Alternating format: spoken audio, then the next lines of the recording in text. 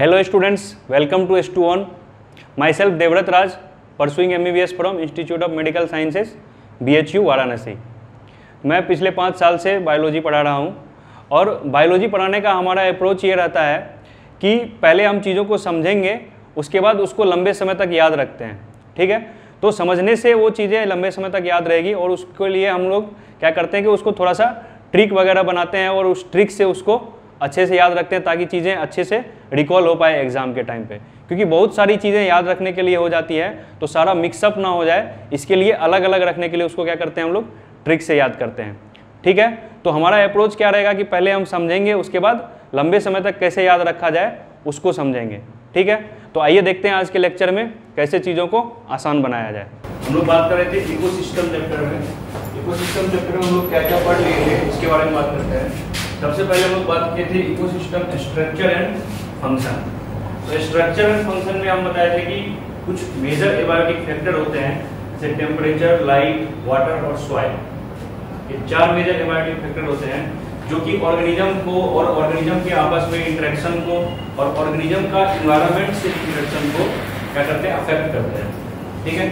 तो सबसे पहले आपको इससे पहला चैप्टर था, उसमें बताया था कि ऑर्गेनिज्म क्या होता है पॉपुलेशन क्या होता है. तो इससे पहला चैप्टर था, उसका क्या नाम था?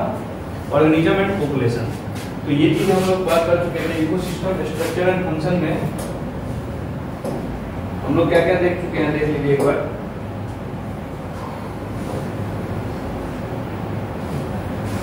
Productivity decomposition energy flow and nutrient cycling nutrient cycling अभी तक हम लोग नहीं पढ़े हैं। बाकी प्रोडक्टिविटी डिकम्पोजिशन और एनर्जी फ्लो पढ़ चुके हैं।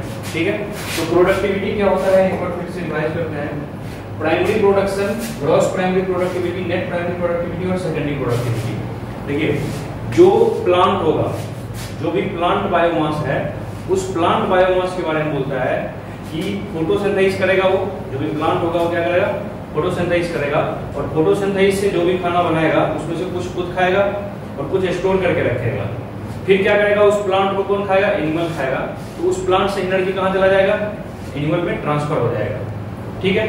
तो बोलता है कि ग्रॉस प्राइमरी प्रोडक्टिविटी वो होता है जो पूरे अर्थ पे, पूरे एटमोस्फेयर में, पूरे इकोसिस्टम में जितना प्लांट है, उस प्लांट के बायोमास के बारे में अगर हम बात करेंगे तो बोलेंगे ग्रॉस प्राइमरी प्रोडक्टिविटी होगा। मतलब प्राइमरी प्रोडक्टिविटी क्यों? क्योंकि प्रोड्यूसर प्रोड्यूस कर रहा है। कौन कर रहा है प्रोड्यूस प्रोड्यूसर प्रोड्यूस कर रहा है। और उसमें से अगर हम रेस्पिरेटरी लॉस को माइनस कर दें, किसको माइनस कर दें? रेस्पिरेटरी लॉस को।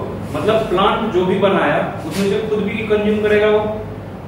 तो प्लांट जितना कंज्यूम किया प्लांट जितना यूज़ किया, उतना यूज़ करने के बाद जो बचा, वो क्या है? नेट प्राइमरी प्रोडक्टिविटी वो क्या हो जाएगा? नेट प्राइमरी प्रोडक्टिविटी और ग्रॉस प्राइमरी प्रोडक्टिविटी क्या होता है? टोटल जितना प्रोडक्शन हुआ, किसके कारण? प्लांट के कारण, यानी कि प्रोड्यूसर के कारण। ये चीज़ हम लोग बात कर चुके थे। इसके बाद हम लोग बात करते हैं डिकम्पोजिशन इसके बाद हमारा क्या है? डिकम्पोजिशन डिकम्पोजिशन किसको बोलते थे? हम बताए थे आपको। डिकम्पोजिशन में क्या क्या स्टेप होता है? Fragmentation leaching catabolism fragmentation leaching catabolism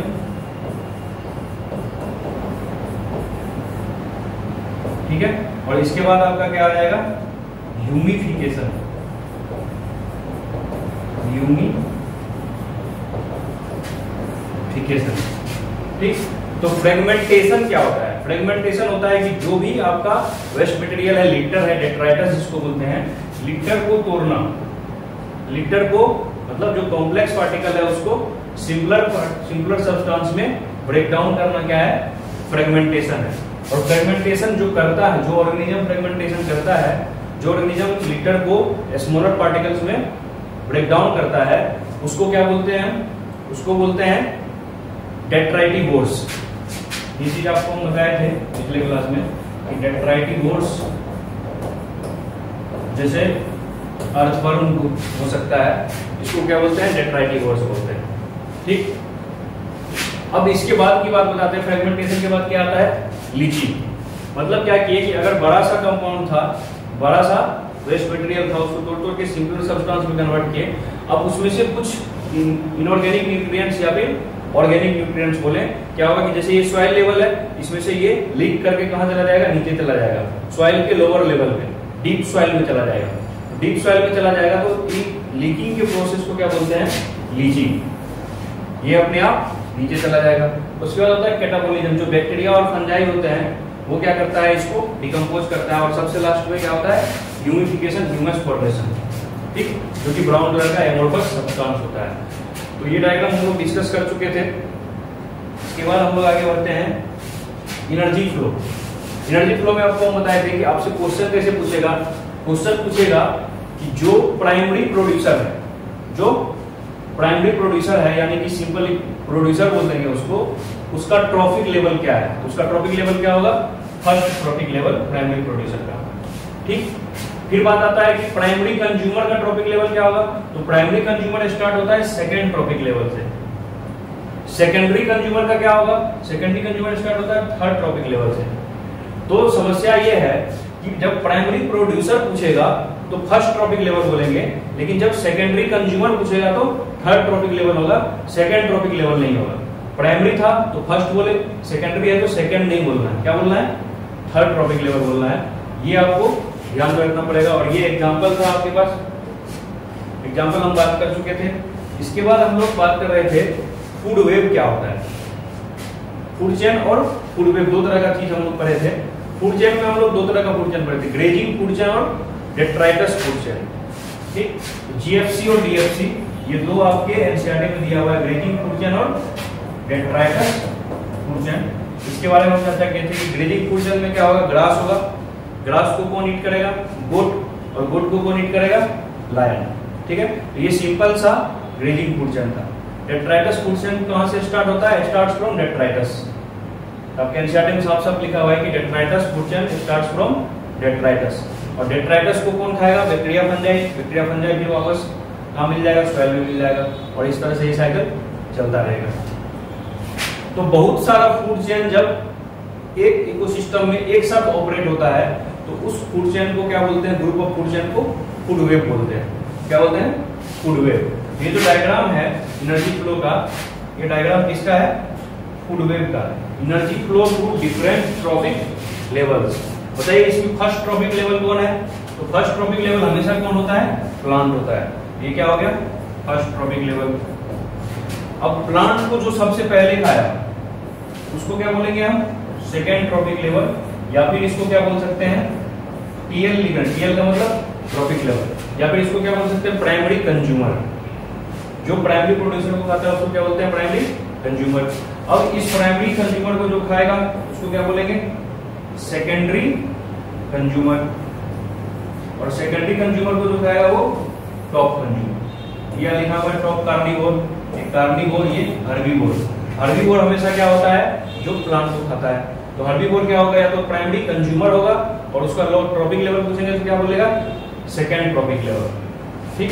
ये ट्रॉपिक लेवल आपको पूछा जाता है कि कंज्यूमर पूछेगा प्राइमरी कंज्यूमर है तो ट्रॉपिक लेवल क्या होगा? सेकेंडरी कंज्यूमर है तो ट्रॉपिक लेवल क्या होगा? टॉप कंज्यूमर है तो ट्रॉपिक लेवल क्या होगा? ये क्वेश्चन आपसे रिव्यू में पूछा जाता है। ठीक है? ये हो गया एनर्जी फ्लो की बात। इसके बाद हम लोग एनर्जी पिरामिड्स पढ़े थे। क्या पढ़े थे? एनर्जी पिरामिड्स तो एनर्जी पिरामिड्स के बारे में आपको हम एक यूनिवर्सल लॉ बताए थे। यूनिवर्सल लॉ क्या है? एनर्जी पिरामिड्स का। कि pyramid of energy is always upright क्या बताए थे? Pyramid of energy always upright ये पिरामिड ऑफ़ एनर्जी है। इसको देखिए। An ideal pyramid of energy ये हमेशा क्या होगा? अपराइट होगा। और एनर्जी क्वेश्चन आपसे आता है कि pyramid of energy always upright, may be upright, may be inverted, both of all of the इस तरह से क्वेश्चन आता है। तो आपको ध्यान ये रखना है कि पिरामिड ऑफ़ एनर्जी हमेशा क्या होगा? अपराइट पिरामिड को अपराइट या फिर इन्वर्टेड कब बोलते हैं? जब बेस क्या हो वाइड हो और टॉप क्या हो नैरो हो तो उसको क्या बोलेंगे? अपराइट पिरामिड और अगर इसका ठीक उल्टा हो जाएगा ऐसे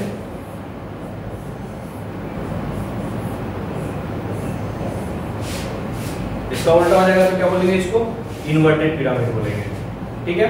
तो इन्वर्टेड पिरामिड कभी भी एनर्जी का नहीं होता है।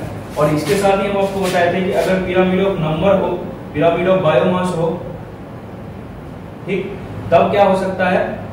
तब इन्वर्टेड भी हो सकता है और अपराइट भी हो सकता है। तो पिरामिड ऑफ़ नंबर दिया हुआ है यहाँ पे आपको। Pyramid of number may be upright और मे बी इन्वर्टेड ये आपको हम कल समझाए थे कैसे होगा। फिर बताया थे pyramid of biomass may be upright और मे बी इन्वर्टेड ठीक? और पिरामिड ऑफ़ बायोमास का ये दूसरा एग्जांपल है। यहाँ पे देखिए ये इन्वर्टेड है और इससे पहले पिरामिड ऑफ़ बायोमास ये क्या है? अपराइट है। तो दोनों हो सकता है, ये दोनों केस आपके एनसीईआरटी में डिस्कस किया है। यहाँ तक हम लोग पढ़ चुके थे। आज हम लोग पढ़ेंगे इकोलॉजिकल सक्सेशन अब इकोलॉजिकल सक्सेशन क्या होता है? इसको समझने के लिए समझना पड़ेगा इवोल्यूशन क्योंकि आपका एनसीईआरटी बोलता है कि ecological succession is parallel event to evolution बोलता है कि इकोलॉजिकल सक्सेशन और इवोल्यूशन दोनों साथ साथ होता है। दोनों क्या होता है? साथ साथ होता है। तो आप पहले ये समझ लीजिए कि इवोल्यूशन क्या होता है। इवोल्यूशन क्या होता है? आप सोचिए कि लाइफ का ऑरिजिन कैसे हुआ होगा? सबसे पहले अर्थ बना। अर्थ पे सबसे पहले कोई ना कोई यूनिसेलुलर ऑर्गेनिज्म बना होगा, फिर उससे मल्टीसेलुलर ऑर्गेनिज्म बना होगा, फिर उससे प्लांट बना, फिर उससे प्लांट को खाने के लिए एनिमल बना, ठीक है? फिर पानी वानी सब जो है पहले से था अर्थ पे। तो कहने का मतलब इवोल्यूशन में पहले, सबसे पहले जो होगा वो सॉइल होगा। सबसे पहले क्या होगा? सॉइल होगा, मिट्टी होगा और पानी होगा। तो इसी में या तो मिट्टी में या फिर पानी में जीव जंतु पैदा लेंगे। अब बात यह है कि इकोलॉजिकल सक्सेशन जो होता है इकोलॉजिकल सक्सेशन इकोलॉजिकल सक्सेशन में नया नया कम्युनिटी बनता है। क्या बनता है? नया नया कम्युनिटी या फिर बोल सकते हैं नया नया स्पीसीज बनता है। जैसे एक एग्जांपल देते हैं मान के चलिए कि अभी ये एक एरिया है, पृथ्वी पे अर्थ पे कहीं भी एक एरिया है हमारे इंडिया में ही, किसी जंगल में, किसी पहाड़ पे एक एरिया है, उस एरिया में ज्वालामुखी है। क्या है? ज्वालामुखी हम लिख देते हैं वॉल्केनो अब इससे क्या है? लावा निकल रहा है। क्या निकल रहा है? लावा। ठीक है? तो ये ज्वालामुखी जल रहा है। ज्वालामुखी विस्फोट हो चुका है। तो यहाँ पे आसपास में जितना भी जीव जंतु होगा पेड़ पौधे होंगे सबके सब यहाँ पे क्या हो जाएँगे? मर जाएँगे नहीं मर जाएँगे? सिर्फ़ ये ज्वालामुखी का राख बचेगा, इसका ढेर बचेगा। यही होगा। 500 साल के बाद, हज़ारों साल के बाद। अब क्या होगा कि ये एरिया क्या पूरा हो चुका है? ये पूरा एरिया से लाइफ खत्म हो चुका है। पूरे एरिया से क्या चुका है? लाइफ खत्म हो चुका है। ठीक? तो अब यहाँ पे लाइफ नहीं बचा। लेकिन एक हज़ार साल के बाद जाएँगे, फिर वापस हम इसी एरिया में। कितने साल के बाद? एक हज़ार साल के बाद वापस अगर हम इसी एरिया में जाएँगे तो हम देखेंगे यहाँ घास उग गया है पेड़ पौधा उग गया है, यहाँ पे कुछ घास चलने वाले जानवर पाए जा रहे हैं। ऐसा होगा यहाँ पे, हज़ारों साल के बाद। तो ऐसा कैसे संभव हुआ? तो क्या होता है, इसी को बोलते हैं इकोलॉजिकल सक्सेशन सक्सेशन का मतलब होता है कि एक स्पीसीज आएगा, उसके सक्सेशन में दूसरा स्पीसीज आएगा फिर उसके सक्सेशन में तीसरा स्पीसीज आएगा फिर उसके सक्सेशन में चौथा स्पीसीज आएगा और इस तरह से सारे स्पीसीज मिलके एक पूरा इकोसिस्टम बनाएँगे। क्या बनाएँगे? एक पूरा इकोसिस्टम बनाएँगे। और इसी प्रोसेस को जिससे नया नया स्पीसीज बनता है, उस प्रोसेस को क्या बोलते हैं इसी प्रोसेस को हम सक्सेशन बोलते हैं। ठीक है? तो इकोलॉजिकल सक्सेशन दो तरह का होता है। कितने तरह का होता है? दो तरह का। कौन कौन सा? एक होता है प्राइमरी सक्सेशन और एक होता है सेकेंडरी सक्सेशन ठीक है इकोलॉजिकल सक्सेशन एक होता है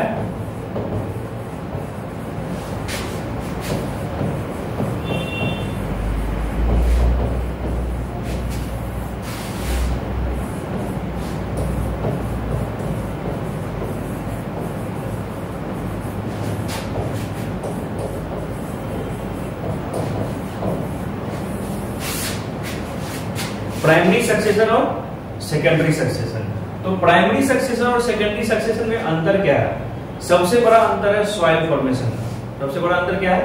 सॉइल फॉर्मेशन का। इकोलॉजिकल सक्सेशन में सबसे पहला और सबसे इंपॉर्टेंट स्टेप होता है सॉइल फॉर्मेशन क्या होता है? सबसे पहला और सबसे इंपॉर्टेंट स्टेप मान के चलिए कि किसी जगह पे सिर्फ़ पहाड़ था। सिर्फ़ क्या था? पहाड़ था। अब पहाड़ पे तो सिर्फ़ क्या होता है? पत्थर होता है। और पत्थर में तो पेड़ पौधा उगेगा नहीं। क्या चाहिए? मिट्टी चाहिए। पेड़ पौधा उगने के लिए क्या चाहिए? मिट्टी चाहिए। तो इस पहाड़ में जो भी पत्थर था, वो पत्थर को छोटा छोटा टुकड़ा में तोड़ के और उसको क्या बनाया गया? सॉइल बनाया गया। तो क्या बनाया गया? ये क्या बन गया आपका? सॉइल बन गया। तो पत्थर को ये रॉक है। पत्थर को तोड़ के सॉइल बनाने का जो प्रोसेस होता है, उसको हम लोग बोलते हैं वेदरिंग ऑफ़ रॉक्स क्या बोलते हैं उसको?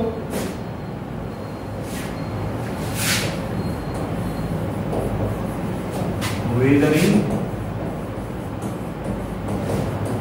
of rocks आपका एनसीईआरटी बोलता है कि weathering of rocks is a very slow process extremely slow process it takes thousands of years कितना टाइम लग सकता है? हज़ारों साल लग सकता है। थाउजेंड्स ऑफ़ इयर्स इतना स्लो प्रोसेस है कि हज़ारों साल में पत्थर टूट टूट के, टूट टूट के क्या बनाता है? मिट्टी बनाता है। और जब मिट्टी बन जाएगा, तभी इस पे पेड़ पौधा उगेगा। तभी इस पे क्या होगा? पेड़ पौधा उगेगा। तो प्राइमरी सक्सेशन ऐसे जगह पे होता है जहाँ पे उससे पहले कभी कोई जीवन नहीं था। कोई भी लाइफ एग्जिस्ट नहीं कर रहा था, ऐसा बेयर एरिया बेयर एरिया मतलब बंजर भूमि। ठीक है? जैसे बंजर ज़मीन किसको बोलते हैं? जहाँ पेड़ पौधा नहीं पाता, उस ज़मीन को क्या बोलते हैं? बंजर ज़मीन बोलते हैं। ठीक है? तो ऐसा एरिया ऐसा बेयर एरिया जहाँ पे पहले पास्ट में कोई लाइफ एग्जिस्ट नहीं करता था, पहली बार अगर उस एरिया में लाइफ एग्जिस्ट होगा लाइफ फॉर्म होगा तो उस सक्सेशन को क्या बोलेंगे हम? प्राइमरी सक्सेशन तो प्राइमरी सक्सेशन के बारे में पहला पॉइंट आप ध्यान रखेंगे।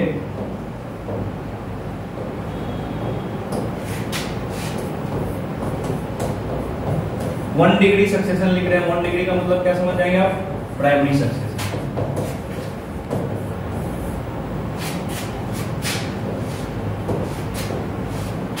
इसमें पहला पॉइंट आपको ध्यान रखना है। ऑकर्स इन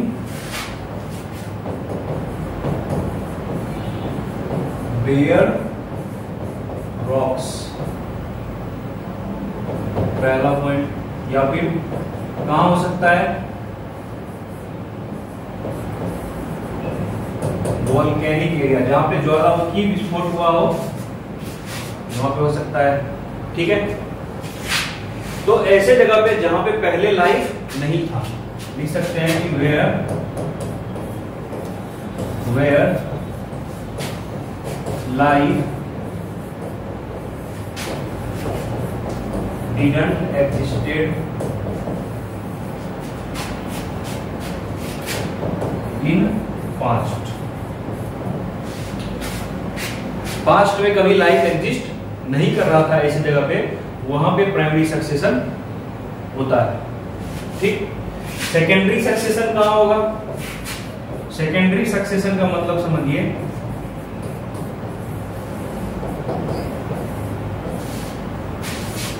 सेकेंडरी सक्सेशन का मतलब है, मान के चलिए आपके गाँव में बाढ़ आ गया, या मेरे गाँव में बाढ़ आ गया, किसी के भी गाँव में बाढ़ आ गया। बाढ़ आया तो पूरा घर द्वार पेड़ पौधा सब डूब गया, ठीक है? तो घर द्वार पेड़ पौधा सब डूब जाएगा तो वहाँ सिर्फ़ क्या बचेगा? पानी ही पानी बचेगा। और अब और क्या बचेंगे? पानी में रहने वाले जानवर बचेंगे। क्या बचेंगे? पानी में रहने वाले जानवर। जब बाढ़ का पानी वापस निकलेगा तो वहाँ एक भी चीज़ ज़िंदा नहीं बचेगा, सिर्फ़ और सिर्फ़ क्या बचेगा? मिट्टी। और बाकी मिट्टी में मिला हुआ पेड़ पौधा और घर का जो भी अवशेष है वो। ठीक है? तो जो लाइफ पहले था, वो लाइफ क्या हो चुका है? खत्म। जो लाइफ पहले था, वो लाइफ क्या हो चुका है? खत्म। अब बाढ़ का पानी जाने के बाद नया पेड़ पौधा हो जाएगा। फिर से लोग वहाँ जाएँगे, फिर से लोग वहाँ बसेंगे, फिर से वहाँ नया नया जानवर आएगा। तो सेकेंडरी चीज़ होगा ये। सेकेंडरी सक्सेशन ऐसे जगह पे होता है जहाँ पहले से कोई लाइफ एग्जिस्ट किया हो। पहले से कोई लाइफ था और किसी कारण से नेचुरल कैलमिटीज के कारण, किसी भी प्राकृतिक आपदा के कारण क्या हो गया कि वहाँ पे लाइफ खत्म हो गया, अब फिर से जब वहाँ पे लाइफ आएगा तो उसको हम क्या बोलेंगे? सेकेंडरी सक्सेशन प्राइमरी सक्सेशन किसको बोलते हैं? प्राइमरी सक्सेशन बोलते हैं कि ऐसा जगह जहाँ पे ज़िंदगी में पहले कभी लाइफ था ही नहीं। वो जगह जब से बना है, तब से वहाँ पे एक भी पेड़ पौधा या एक भी जीव जंतु वहाँ पे नहीं बना है आज तक। ना गया है ना पहले बना था। ठीक है? तो ये चीज़ है बेयर एरिया बेयर रॉक्स ठीक? तो बेयर रॉक्स में जो सक्सेशन होगा वो क्या होगा? प्राइमरी सक्सेशन और पहले से लाइफ जहाँ एग्जिस्ट कर रहा था वहाँ पे अगर फिर से सक्सेशन होगा वहाँ पे अगर फिर से लाइफ आएगा बीच में क्या हो, गया था? बीच में लाइफ खत्म हो गया था। क्यों खत्म हुआ था? नेचुरल कैलामिटीज के कारण। ठीक है? तो अब अगर वहाँ सक्सेशन होगा तो क्या बोलेंगे? सेकेंडरी सक्सेशन यहाँ लिख सकते हैं कि previously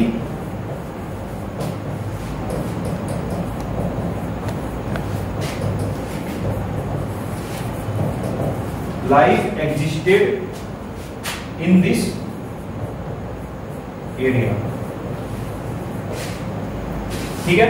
तो दो तरह का सक्सेशन आपको हम बताए। क्या है प्राइमरी सक्सेशन और सेकेंडरी सक्सेशन तो प्राइमरी सक्सेशन और सेकेंडरी सक्सेशन में मेन अंतर यही है कि अगर पहली बार लाइफ बना है उससे पहले कोई लाइफ नहीं था तो क्या बोलेंगे उसको? प्राइमरी सक्सेशन सेकेंडरी सक्सेशन का बोलेंगे, जब पहले लाइफ था, इसी कारण से डिस्ट्रॉय हो गया, अब फिर से लाइफ आ रहा है तो क्या बोलेंगे? सेकेंडरी सक्सेशन यहाँ पे क्लियर है आपको?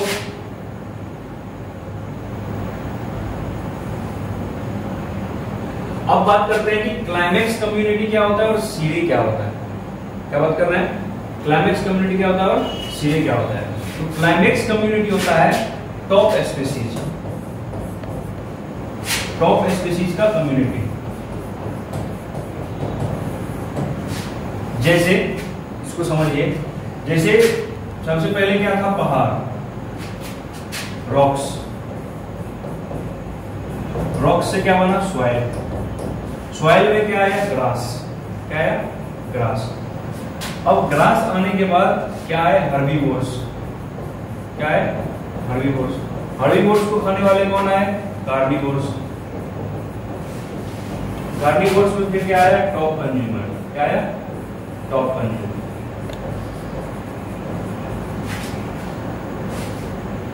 अब इसके बाद कोई नहीं आएगा। इस कम्युनिटी में इसके बाद कोई नहीं आएगा। तो पहले कम्युनिटी सिर्फ़ इतना सा था। फिर कम्युनिटी इतना बड़ा हुआ। उसके बाद कम्युनिटी इतना बड़ा हुआ और उसके बाद ये फाइनल कम्युनिटी बना। अब इसके बाद कोई कम्युनिटी नहीं बनेगा। ये क्या हो गया? क्लाइमेक्स कम्युनिटी हो गया, जो मैक्सिमम नंबर ऑफ़ स्पेशीज एक इकोलॉजिकल सेक्सेशन में बनता है। अपर लिमिट जो होता है मैक्सिमम नंबर ऑफ़ स्पीसीज का उस कम्युनिटी को क्या बोलते हैं? ऐसा कम्युनिटी जिसमें मैक्सिमम नंबर ऑफ़ स्पीसीज हो उस कम्युनिटी को क्या बोलते हैं? क्लाइमेक्स कम्युनिटी बोलते हैं। क्या बोलते हैं? क्लाइमेक्स कम्युनिटी ठीक है? तो ये आपका हो गया क्लाइमेक्स कम्युनिटी इसके बाद है सीरी सीरी क्या होता है? सीरी होता है कि एक सक्सेशन में जितना स्टेज आया, जैसे ये पहला स्टेज आया रॉक का, दूसरा स्टेज आया सॉइल का, तीसरा स्टेज आया ग्रास का, चौथा स्टेज आया हर्बीवोर्स का पांचवा स्टेज क्या आया कार्निवोर्स का छठा स्टेज आया, टॉप कंज्यूमर्स का। तो ये जो सीरीज़ ऑफ़ स्टेज है स्टेजेस है, इन सारे सीरीज़ ऑफ़ स्टेजेस को एक साथ मिला के हम क्या बोलते हैं? सीरी बोलते हैं। क्या बोलते हैं? सीरी ठीक है? तो ये दो वर्ड था, ये दो वर्ड आपको हम समझा दिए। और सक्सेशन क्या होता है? कितने तरह का होता है? दो तरह का प्राइमरी और सेकेंडरी सक्सेशन ये भी आपको बता दिए। इसके बाद एक बात आता है इकोलॉजिकल सक्सेशन में ecological succession succession of plants अलग से आपका एनसीईआरटी हेडिंग दिया है। क्या बताया है? सक्सेशन ऑफ़ प्लांट्स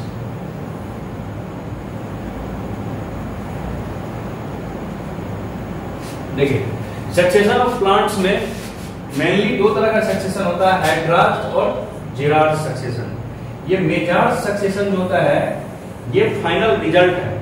मतलब हाइड्रार्च वाला भी मेजार्ड सक्सेशन में जाएगा। और जो जिरार्च वाला भी है, वो भी मेजार्ड सक्सेशन में जाएगा। अब सबसे पहले ये तीनों वर्ड समझते हैं क्या? है हाइड्रार्च जिराज और मेजार्च तो हाइड्रार्च कंडीशन जो होता है वो हाइड्रार्च बोलते हैं हम हाई वाटर कंडीशन इसको बोलते हैं? हाई वाटर कंडीशन यहाँ लिख देते हैं हाई वाटर कंडीशन ठीक है, ये इसको क्या बोलते हैं? हाइड्रार्च जो जेरार्च होता है, वो क्या होता है? लो वाटर कंडीशन वो क्या होता है? लो वाटर कंडीशन और जो मेजाज होता है, वो क्या होता है? मीडियम वाटर कंडीशन मेजाज होता है, वो क्या होता है? मीडियम वाटर कंडीशन जैसे एग्ज़ाम्पल से समझिए। जैसे रेगिस्तान है तो क्या है? लो वाटर कंडीशन है। डेजर्ट जो है, वो क्या है? लो वाटर कंडीशन है। तो डेजर्ट को क्या बोलेंगे? जेराज बोलेंगे। क्या बोलेंगे? जेराज और जैसे टेरिस्ट्रियल हैबिटाट जैसे हमारा यूपी बिहार है इंडिया है, ये जो भी है टेरिस्ट्रियल हैबिटाट है, उसको हम क्या बोलेंगे? मीडियम वाटर कंडीशन बीच बीच में नदी भी है, ठीक है तो उससे काम चल जाता है हमारा। फिर उसके बाद होता है हाइड्रार्च तो हाइड्रार्च है हाई वाटर कंडीशन मतलब एक्वेटिक इकोसिस्टम जैसे ओशियन तो ओशियन में अगर कुछ सक्सेशन हो रहा है, कोई पहले प्लांट बना, फिर एनिमल बना, फिर पूरा फॉरेस्ट बन गया तो ओशियन में जो सक्सेशन होता है, वो सक्सेशन क्या बोलते हैं? हाइड्रार्च सक्सेशन ठीक? तो ये हाइड्रार्च जेरार्च और मेजार्च वर्ड का मतलब आपको समझ में आ गया होगा। Low water condition high water condition और मीडियम वाटर कंडीशन ठीक? तो इसके बाद हम बात करते हैं, सबसे पहले स्टार्ट करते हैं हाइड्रार्च सक्सेशन हाइड्रार्च सक्सेशन का कहने का मतलब क्या है? कि पानी में सक्सेशन हुआ है। कहा हुआ है? पानी में। ये क्या है? Water reservoir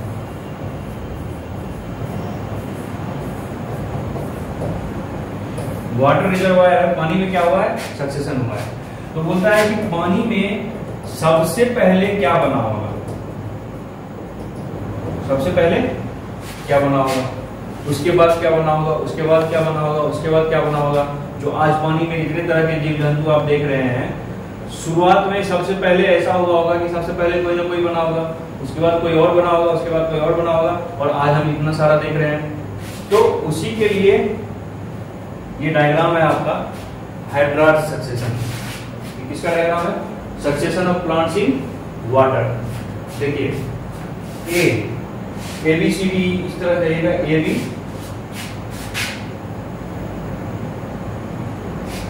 A B C D E F इस तरह से ध्यान देना है। एनसीआरटी का डायग्राम है, आप लोग एनसीआरटी में देख सकते हैं। सबसे पहले है फाइटोप्लैंक्टन आपको पता है जो डायटम्स होता है जो अलगी होता है यूनिसेलुलर अलगी होता है, सबसे पहले यूनिसेलुलर अलगी बना इसमें। पानी में कौन बना सबसे पहले? फाइटोप्लैंक्टन बना। उसके बाद क्या बना? Submerged plant stage submerged plant stage मतलब ये अलगी जो है, इस अलगी से डेवलप होकर छोटे छोटे पौधे बने, लेकिन वो छोटा छोटा पौधा जो है, पानी के अंदर ही ग्रो कर रहा है। पानी के बाहर नहीं ग्रो कर रहा है। देख रहे हैं आप, पानी के अंदर ही ग्रो कर रहा है। इसको बोलते हैं submerged plant stage submerge plant stage से क्या होना submerge free floating plant stage free floating का मतलब देखिए मतलब ये है कि इसका जड़ जो है, पानी में ऊपर ही है, कहीं नीचे फिक्स नहीं है। तो जब वाटर वेव इधर उधर जाएगा तो ये प्लांट भी इधर उधर जा सकता है फ्रीली फ्लोट कर रहा है। तो आपसे ये सीक्वेंस पूछता है नीट एग्ज़ाम में। डायरेक्ट पूछता है कि फाइटोप्लैंक्टन के बाद हाइड्राट सक्सेशन में कौन सा स्टेज आएगा? तो फाइटोप्लैंक्टन के बाद क्या आएगा? सबमर्ज प्लांट स्टेज आएगा। सबमर्ज प्लांट स्टेज के बाद हाइड्रोलिक सक्सेशन में कौन सा इवेंट आएगा? तो कौन सा आएगा? सबमर्ज फ्री फ्लोटिंग तो सबसे पहले फाइटोप्लैंक्टन उसके बाद सबमर्ज प्लांट स्टेज उसके बाद सबमर्ज फ्री फ्लोटिंग यहाँ तक क्लियर है? उसके बाद आता है रीड स्वॉम्प स्टेज तो मतलब इसका जो, ये जो प्लांट है वो बड़ी बड़ी बुशेस यानी कि झाड़ियों में डेवलप हो जाता है। बड़ा बड़ा प्लांट थोड़ा सा, उससे बड़ा बड़ा प्लांट बनने लगता है। इसको क्या बोलते हैं हम? रीड स्वॉम स्टेज उसके बाद है मार्स मीडो स्टेज और बड़ा झाड़ी बन जाएगा, पानी के ऊपर भी रहेगा और उसका रूट कहाँ फिक्स होगा? पानी में फिक्स होगा। इसको हम क्या बोलते हैं? मार्स मीडो स्टेज उसके बाद आता है स्क्रब स्टेज उसके बाद क्या आता है? Scrub stage nearly forest like condition हो जाता है। कैसा हो जाता है? नियरली फॉरेस्ट लाइक कंडीशन मतलब बहुत तरह के पेड़ पौधे आ जाते हैं। और बड़े बड़े पेड़ भी होते हैं उसमें और छोटे छोटे पेड़ भी होते हैं। इसको हम क्या बोलते हैं? स्क्रब स्टेज बोलते हैं। तो क्या बोलते हैं? स्क्रब स्टेज और स्क्रब स्टेज आने के बाद सबसे लास्ट में क्या आता है? फॉरेस्ट इसमें क्या होगा? सैकड़ों तरह के पेड़ पौधे मिलेंगे। तो ये आपका सक्सेशन ऑफ़ प्लांट का स्टेज है। जो भी सात स्टेज है ए बी सी तीन तीन, छह और एक सात। ये सातों स्टेज का आपको सीक्वेंस ध्यान में रखना है। और डायग्राम अगर देखे एबीसीडी एफ़ जी की देके पूछेगा। तो आपको पूछेगा कि बी क्या है? तो आप बता सकेंगे कि समर प्लांट है। ठीक है? तो डायग्राम भी याद रहना चाहिए और सातों स्टेज का सीक्वेंस याद रहना चाहिए। आपका काम हो जाएगा। नेक्स्ट है हमारा न्यूट्रिएंट साइक्लिंग न्यूट्रिएंट साइक्लिंग क्या होता है? अब समझिए कि नेचर में सक्सेशन हुआ, पहले क्या बना? प्लांट फिर प्लांट से क्या बना? हायर प्लांट हायर प्लांट और उस प्लांट को रिसोर्सेज को यूज़ करता है कौन? एनिमल ठीक है? तो या तो प्रोड्यूसर है या तो कंज्यूमर है। अब प्रोड्यूसर को भी न्यूट्रिएंट्स चाहिए और कंज्यूमर को भी न्यूट्रिएंट्स चाहिए। तो बात यह है कि कंज्यूमर जो है प्लांट को कंज्यूम करके न्यूट्रिएंट्स ले लिया। जो भी उसको ज़रूरी चीज़ था वो कंज्यूम प्रोड्यूसर से ले लिया। लेकिन सवाल यह है कि प्रोड्यूसर को कौन देगा? प्रोड्यूसर तो कैसे लेता नहीं, वो तो अपना खाना खुद बनाता है। प्रोड्यूसर कौन होता है? प्लांट वो तो फोटोसिंथेसिस करेगा। तो प्रोड्यूसर को कौन देगा? तो प्रोड्यूसर अपने इन्वायरमेंट से लेता है। कहाँ से लेता है? इन्वायरमेंट से। अब बात यह है कि प्रोड्यूसर अगर इसी तरह से इन्वायरमेंट से लेता रहेगा तो फिर इन्वायरमेंट का तो स्टॉक खत्म हो जाएगा। तो फिर इन्वायरमेंट को कौन देगा? ठीक है? तो इसके लिए चलता है एक साइकिल एक साइकिल होता है जिसमें प्रोड्यूसर इन्वायरमेंट से लेता है, फिर इन्वायरमेंट को देता है। फिर इन्वायरमेंट से लेता है, फिर इन्वायरमेंट को देता है। क्या देता है, क्या लेता है? न्यूट्रिएंट्स तो न्यूट्रिएशन का जो इस तरह का जो साइकिल चलता है न्यूट्रिएंट्स का, इस साइकिल को हम लोग न्यूट्रिएंट साइकिलिंग बोलते हैं, जिसमें न्यूट्रिएंट जो है प्रोड्यूसर और इन्वायरमेंट यानी कि और कंज्यूमर और इन्वायरमेंट के बीच में साइक्लिक वे में रिपीट होता रहता है। ठीक है?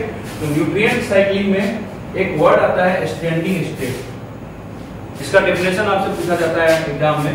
स्टैंडिंग स्टेट का डेफिनेशन आपके एनसीईआरटी में लिखा हुआ है कि all the mineral nutrients all the mineral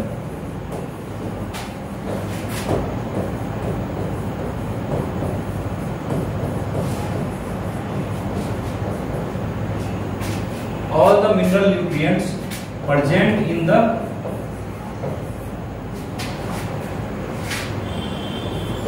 ecosystem. Biosphere और लार्ज लेवल पे लेंगे तो क्या बोल सकते हैं? बायोस्फीयर इन सारे को एक साथ, सारे मिनरल न्यूट्रिएंट्स को एक साथ हम लोग क्या बोलते हैं? स्टैंडिंग स्टेट स्टैंडिंग स्टेट ये डेफिनेशन है आप लोग एनसीईआरटी से एनसीईआरटी के लैंग्वेज में याद रखेंगे तो ज़्यादा बेटर होगा। एग्ज़ाम में एनसीईआरटी का डेफिनेशन पूछा जाता है। ठीक? उसके बाद आते हैं न्यूट्रिएंट साइकिल क्या होता है? ये तो समझ में आएगा कि न्यूट्रिएंट साइकिल क्या होता है और क्यों ज़रूरी है। क्योंकि प्लांट को कांस्टेंट न्यूट्रिएंट सप्लाई चाहिए और एटमॉस्फेयर को भी वापस कांस्टेंट चाहिए ताकि फिर बाद में वो दे पाए प्लांट को। और प्लांट से कहा कौन लेता है? एनिमल तो प्लांट से जब एनिमल ले लेगा तो एनिमल से फिर कहा जाएगा? तो एनिमल से फिर वापस कहाँ चला जाएगा? इन्वायरमेंट में चला जाएगा एटमॉस्फेयर में चला जाएगा। जैसे, ऐसे समझ सकते हैं कि प्लांट क्या लिया एटमॉस्फेयर से? कार्बन डाइऑक्साइड लिया मतलब कार्बन लिया। कार्बन एक क्या है? न्यूट्रिएंट है। कार्बन क्या है? न्यूट्रिएंट है। तो एटमॉस्फेयर से प्लांट क्या लिया? कार्बन लिया। उससे खाना बनाया। अब प्लांट को कौन खाया? एनिमल खाया। तो प्लांट से कार्बन कहाँ चला गया? एनिमल में चला गया। अब एनिमल क्या किया? कार्बन डाइऑक्साइड रिलीज़ किया। तो वो कार्बन डाइऑक्साइड कहाँ चला गया? एटमॉस्फेयर में चला गया। तो वापस एटमॉस्फेयर में गया। फिर एटमोस्फेयर से प्लांट प्लांट से एनिमल फिर एनिमल से एटमॉस्फेयर फिर इस तरह से पूरा कार्बन का साइकिल चलते रहेगा। इसी को क्या बोलते हैं? कार्बन साइकिल बोलते हैं। तो जो न्यूट्रिएंट साइकिल है वो न्यूट्रिएंट साइकिल मेनली दो तरह का होता है गैसियस और सेडिमेंट्री मतलब गैसियस जो होगा, जो गैसेस होगा, वो कहाँ होगा? एटमॉस्फेयर में होगा और जो सेडिमेंट्री होगा, वो कहाँ होगा? सॉइल में होगा। नाइट्रोजन साइकिल पढ़ते हैं। क्या क्या पढ़ते हैं? कार्बन और नाइट्रोजन साइकिल ठीक? और जो सेडिमेंट्री है, उसमें हम लोग फास्फोरस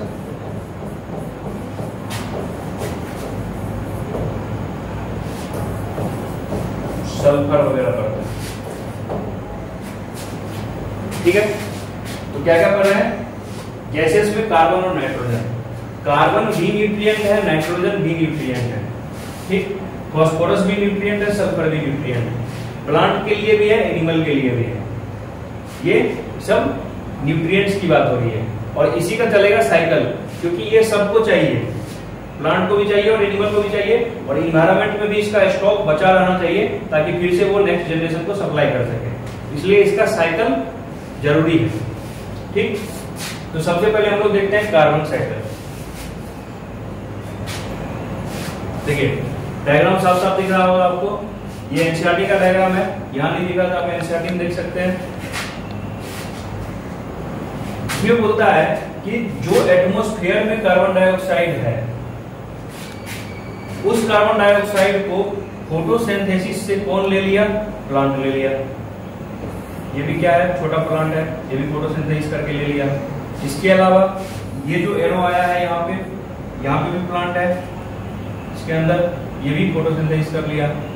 अब फोटोसिंथेसिस कर लिया। अब ये प्लांट एक दिन मरेगा कि नहीं मरेगा? प्लांट का एक दिन डेथ होगा। तो प्लांट के अंदर जितना कार्बन है, वो सारा कार्बन कहाँ मिल जाएगा? मिट्टी में मिल जाएगा। डिट्राइटस में आ जाएगा। कहाँ जाएगा? डेट्राइटस में आ जाएगा।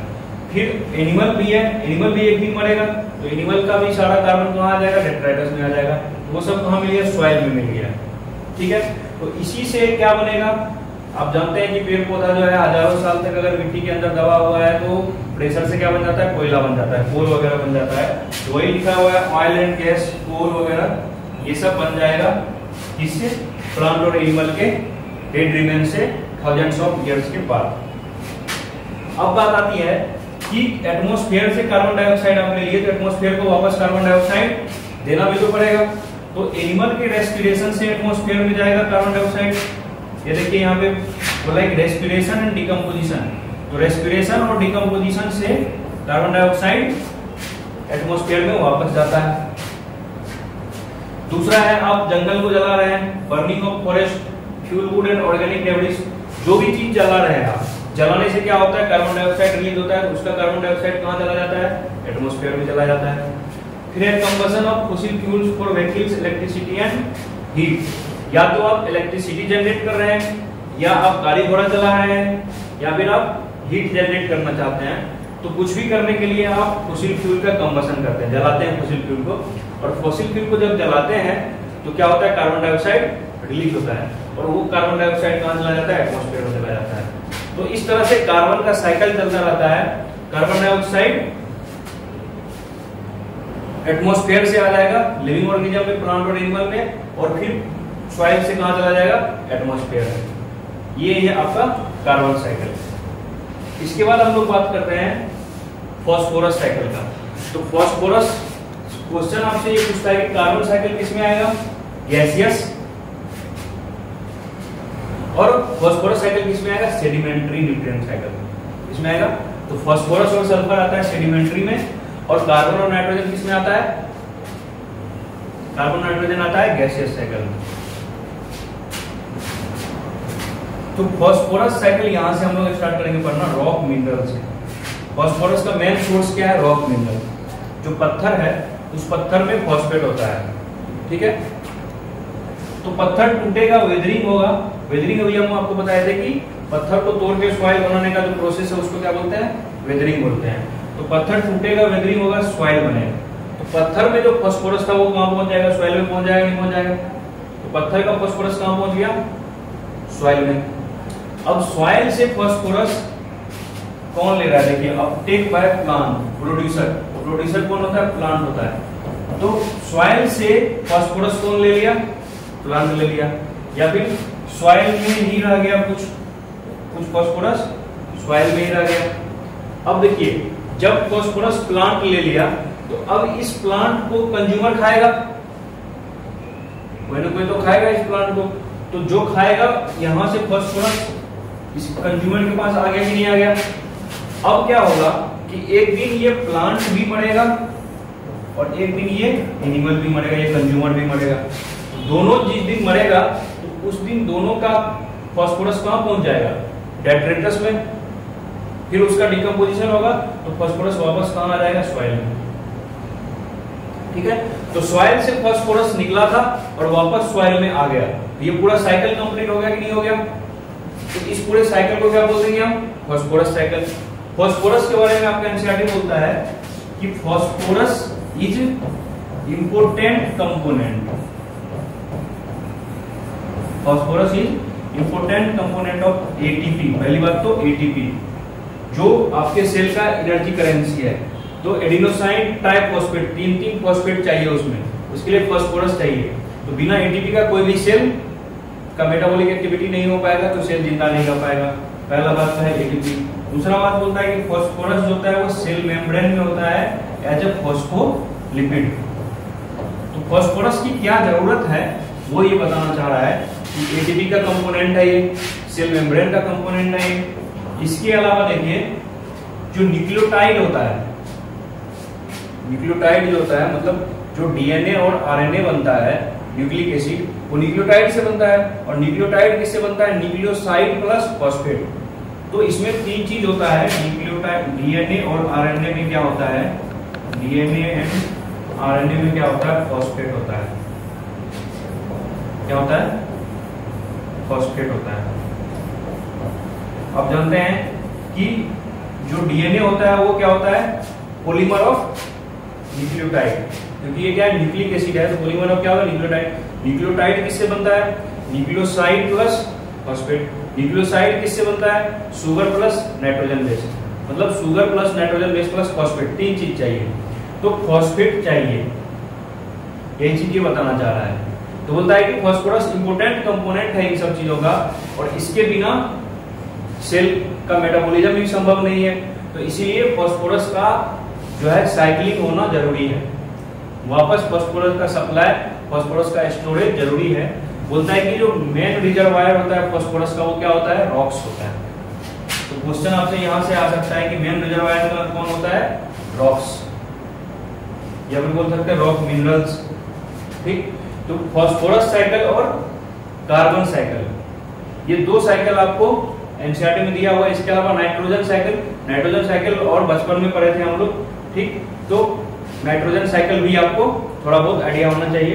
तो ये जो न्यूट्रिएंट का साइकिलिंग है, ये न्यूट्रिएंट का साइकिलिंग क्यों ज़रूरी है और क्या होता है? ये दोनों चीज़ आपको बता दिए। क्योंकि इन्वायरमेंट में कॉन्स्टेंट सप्लाई चाहिए होता है न्यूट्रिएंट्स के लिए। क्योंकि जो भी ऑर्गेनिज्म आएगा, उसको न्यूट्रिशन चाहिए। ठीक? इसके बाद हम लोग बात कर रहे थे इकोसिस्टम सर्विसेज़ का। लास्ट टॉपिक क्या है आपका? इकोसिस्टम सर्विसेज़ तो इकोसिस्टम सर्विस क्या होता है? जो भी इन्वायरमेंट में आप रह रहे हैं, वो आपका इकोसिस्टम है। जहाँ आप रह रहे हैं, वहाँ का जीव जंतु वहाँ का आसपास का पेड़ पौधा वहाँ का आसपास का क्लाइमेट क्या गर्मी है, क्या बरसात है, दिन है, रात है मॉइस्चर है ह्यूमस है, क्या है, वो सब मिला के आपका क्या बनाएगा? इकोसिस्टम बनाएगा। अब बताइए कि जहाँ आप रह रहे हैं, वहाँ रहने से आपको फ़ायदा है कि नहीं है? वो फ़ायदा आपको कौन पहुँचा रहा है? इसको समझिए ऐसे कि इकोसिस्टम सर्विस का मतलब क्या है? इकोसिस्टम सर्विस का मतलब है कि आपके बगल में अगर पेड़ पौधा है, उस पेड़ से आप फल खा रहे हैं। तो आपका इकोसिस्टम आपको खाना दे रहा है कि नहीं दे रहा है? तो अगर आपका इकोसिस्टम आपको खाना दे रहा है तो हम बोल सकते हैं कि इकोसिस्टम आपको सर्विस दे रहा है सर्व कर रहा है। उसी तरह से, जिस तरह से आप एक लिविंग ऑर्गेनिज्म है और आपको खाना दे रहा है आपका इकोसिस्टम उसी तरह से प्लांट भी एक लिविंग ऑर्गेनिज्म है। तो प्लांट को इकोसिस्टम से क्या फ़ायदा होता है? प्लांट को इकोसिस्टम से फ़ायदा होता है कि उसके आसपास इंसेक्ट्स होते हैं और वो क्या कराते हैं? पोलिनेशन तो एक जगह से दूसरे जगह पोलन ग्रेन का ट्रांसफ़र करता है इंसेक्ट तो एक इकोसिस्टम में रहने से प्लांट को फ़ायदा हुआ कि नहीं हुआ? तो इकोसिस्टम में रहने से हर एक ऑर्गेनिज्म को दूसरे ऑर्गेनिज्म के प्रेजेंस से फ़ायदा होता है। इकोसिस्टम में रहने से। इसलिए सब मिलजुल के रहते हैं, सब एक साथ रहते हैं। ऐसा नहीं है कि जहाँ इंसान है, वहाँ सिर्फ़ इंसान ही रहेगा, वहाँ गाय भैंस नहीं रहेगा। वहाँ गाय भैंस अगर नहीं रहेगा तो दूध कहाँ से आएगा? ठीक है? जहाँ पे प्लांट है, वहाँ पे सिर्फ़ प्लांट ही रहेगा, कोई एनिमल नहीं रहेगा। तो वहाँ पे अगर कोई एनिमल नहीं रहेगा तो इंसेक्ट नहीं रहेगा तो पोलिनेशन कहाँ से होगा? तो ये सब चीज़ समझने की चीज़ है कि इकोसिस्टम आपको क्या करता है? सर्विस प्रोवाइड करता है। क्या करता है? सर्विस प्रोवाइड करता है। और उस सर्विस का हमको वैल्यू देना चाहिए। उस सर्विस का हमको क्या करना चाहिए? वैल्यू देना चाहिए। तो बोल रहा है कि the products of ecosystem processes ecosystem में जो भी प्रोसेस हो रहा है, उससे जो प्रोडक्ट मिल रहा है, उसको क्या बोलते हैं हम लोग? इकोसिस्टम सर्विसेज़ बोलते हैं। एक साइंटिस्ट था रॉबर्ट कॉन्स्टेंजा क्या नाम साइंटिस्ट का?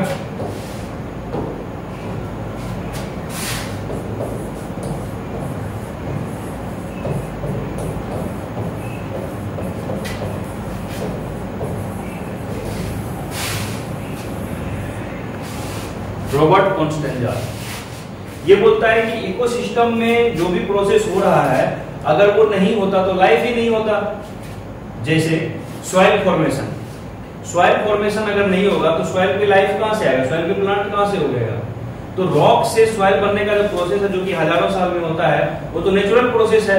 वो तो इकोसिस्टम में खुद अपने आप होता है। यानी कि इकोसिस्टम हमको सर्विस दे रहा है, हमको सॉइल बना के दे रहा है। समझ पा रहे हैं आप? तो रॉबर्ट कॉन्स्टेंजा का कहना है कि इकोसिस्टम हमको जो सर्विस देता है, वो हमारा जो गुड्स एंड सर्विस है, उससे कहीं ज़्यादा महँगा सर्विस है। क्योंकि अगर सॉइल फॉर्मेशन नहीं होगा, अगर वाटर और एयर का प्यूरिफिकेशन नहीं होगा, जैसे एयर का प्यूरिफिकेशन करता है इकोसिस्टम कैसे करता है? आप कार्बन डाइऑक्साइड छोड़ते हैं तो आपके इमीडिएट इन्वायरमेंट में कार्बन डाइऑक्साइड ज़्यादा हो जाता है। तो क्या करता है इकोसिस्टम प्लांट है इकोसिस्टम में उसके लिए। प्लांट क्या करता है? कार्बन डाइऑक्साइड को फिक्स कर लेता है। तो फिर और ऑक्सीजन को रहने देता है। तो उस ऑक्सीजन को आप फिर सांस ले पाते हैं। तो इस तरह से वो एयर को प्यूरिफाई करने का काम कौन कर रहा है? प्लांट कर रहा है। मतलब आपका इकोसिस्टम कर रहा है। कौन कर रहा है? इकोसिस्टम कर रहा है। तो इस तरह के बहुत सारे सर्विसेज़ होते हैं जो कि इकोसिस्टम देता है। रॉबर्ट कॉन्स्टेंजा बोलता है कि यूएस का 33 ट्रिलियन डॉलर यूएस का 33 ट्रिलियन डॉलर जो कि पूरे वर्ल्ड के ग्लोबल जीडीपी का तीन गुना है। उससे भी कई गुना ज़्यादा है। इतना रुपया आपको इकोसिस्टम के सर्विस का वैल्यू है। अगर आप पैसे में बोला जाए तो इकोसिस्टम जितना सर्विस दे रहा है, उस सर्विस का वैल्यू जो है, एक प्राइस टैग लगाए अगर हम तो यूएस का 33 ट्रिलियन डॉलर आएगा।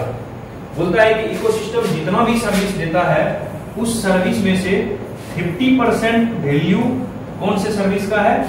सॉइल फॉर्मेशन का है। किसका है?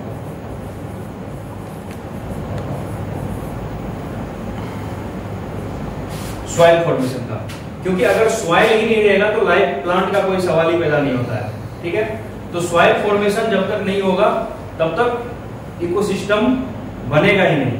तो सबसे ज़्यादा जो ज़रूरी चीज़ है, सबसे ज़्यादा जो वैल्यूएबल चीज़ है इकोसिस्टम सर्विस में, वो क्या है? 50 परसेंट सॉइल फॉर्मेशन है। इसके अलावा 10 परसेंट रिक्रिएशन और न्यूट्रिएंट साइक्लिंग को देता है 10 परसेंट वैल्यू किसका है? Recreation and nutrient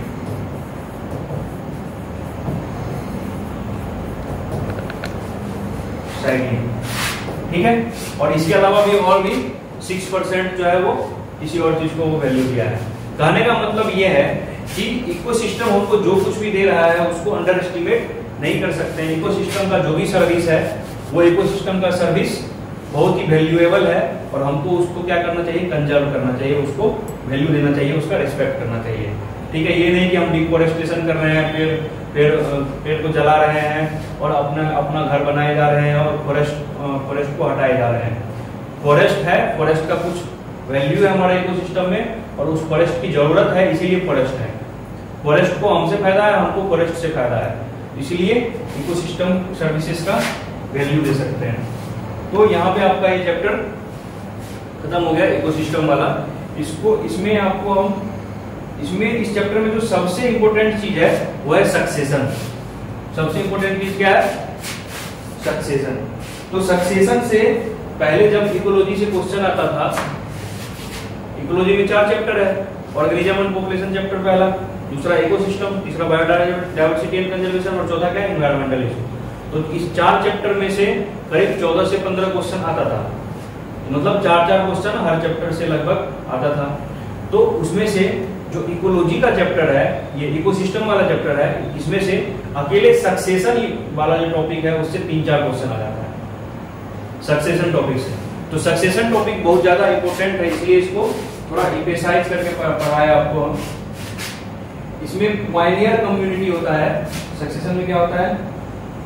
pioneer community या फिर पाइनियर स्पेसीज ठीक है? तो पाइनियर कम्युनिटी और पाइनियर स्पेसीज क्या होता है?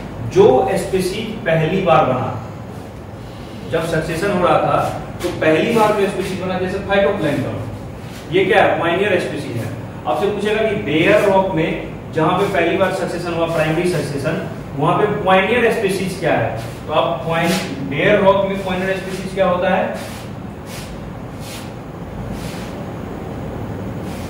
बेयर रॉक में पॉइंटियर स्पीसीज होता है lichen lichen is the pioneer